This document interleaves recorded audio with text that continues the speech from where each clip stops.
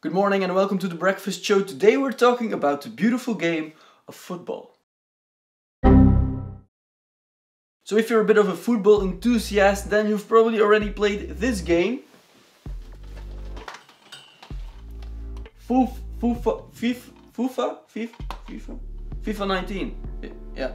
So I've played football games since This is Football 2004, but the first FIFA game I played was FIFA uh, 06. And I think 06 was the best game together with FIFA 10, I think. But oof, those were the days on the PlayStation 2, after school at 4 o'clock. Some gaming, some career modes, no online, no things whatsoever, and ah, it was so much fun. FIFA has changed a lot. We have had FIFA Street, for example, that was a separate game, and that's what I'm talking about right now. FIFA 20 is now introducing Volta, and Volta, I don't know what it means, but it's a FIFA Street mode for FIFA 20, and it looks and sounds awesome. So if you're a bit of a fan of the sports simulating branch, then you've probably also played NBA 2K.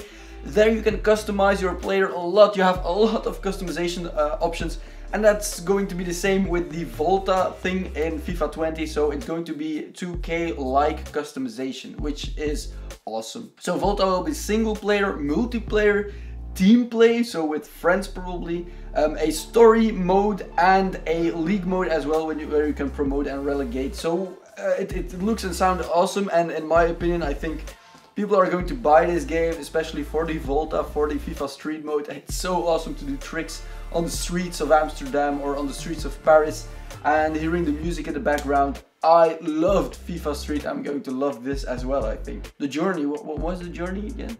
Is anyone, does anyone play that? No, but I gotta admit, I played the Journey the first time it was out in FIFA 18 and I really loved it. I completely played it and on FIFA 19 I started, but then I stopped playing FIFA. So I've, I've, I've not played FIFA since about four months or something because I don't have any time.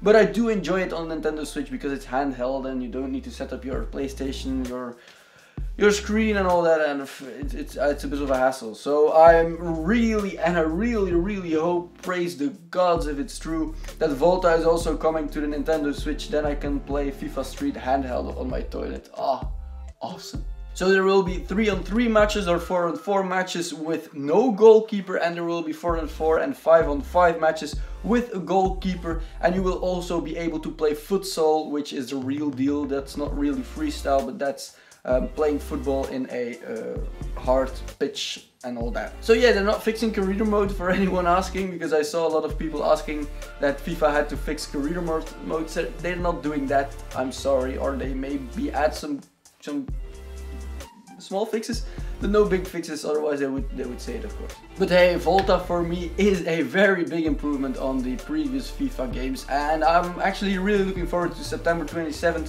when it's releasing the new FIFA 20 with Volta. Let me know if you're getting this game, especially for the Volta or not, and I hope to see you...